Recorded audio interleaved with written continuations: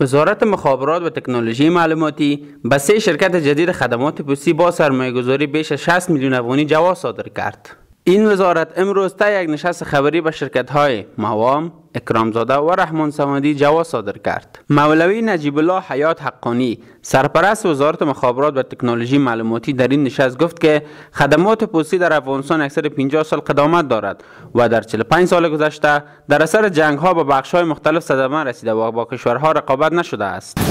د افغانستان هیواد د پوستې خدمتونو په مسله کې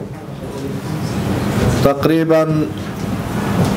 څه د پاسه یو نیم سل کاله مخینه لري تاریخي مخینه لري څه وخت نه چې منظم پوستي خدمات شروع شوي دي، افغانستان د دنیا سره سیال و او په دې ډګر کې افغانستان کافي پیشرفت لره. د تېرو پنځه څلوېښت کلونو راپدېخوا چې په افغانستان کې مشکلات پیدا شوي دي واقعا چې په مختلفو ډګرونو کې مونږه شاتک کړي او مونږ ته او تاسو ته زمينه داسې برابر نه وا چې وکولای شو د خپل دغه فعالیتونو ته پیشرفت ورکو او د نړۍ سره سیال او په معاصره ټکنالوژي باندې سمبال شو وی گفت که این سه شرکت در بخش خدمات پستی علاوه بر سرمایه گذاری بیش از شصت میلیون افغانی، به شماری از شهروندان کشور زمینه کار را مساعد میکنند.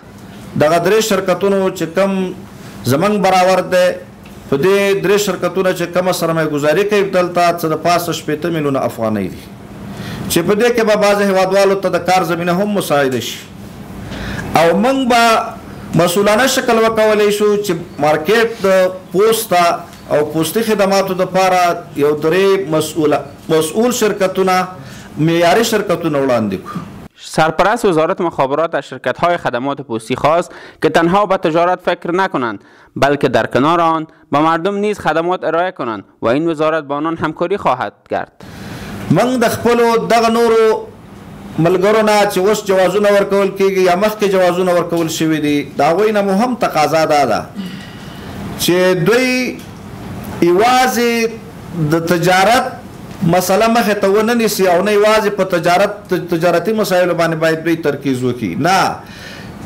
د تجارت سره سره باید دوی د خلکو د خدماتو لحاظ هم وساتي که په هغه ساحو کې که چیرته د دوی عواید کم وي خو د خلکو ضرورت وي پکار دا ده چې دوی د خلکو د ضرورت په اندازه باندې کار وکړي او هغوی ته خدمات عرضه کړي. حقانی مشکلات در سکتور مخابرات را نیز پذیرفت اما تاکید کرد که حل این مشکلات زمان میخواهد.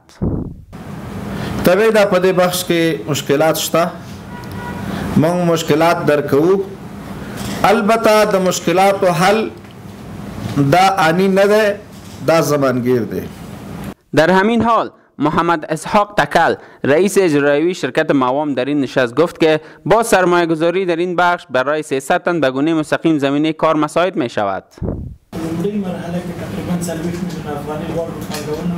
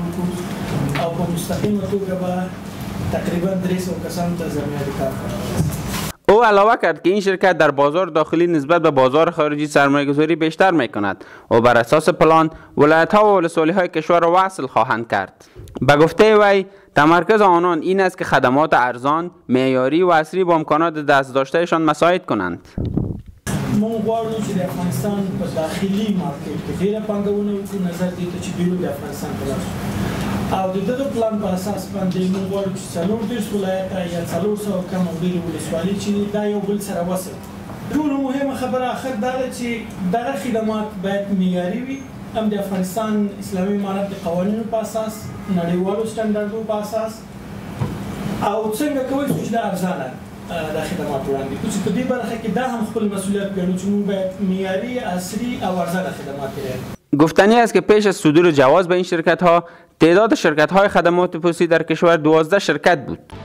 آژانس خبری پژواک انعکاس دهنده حقایق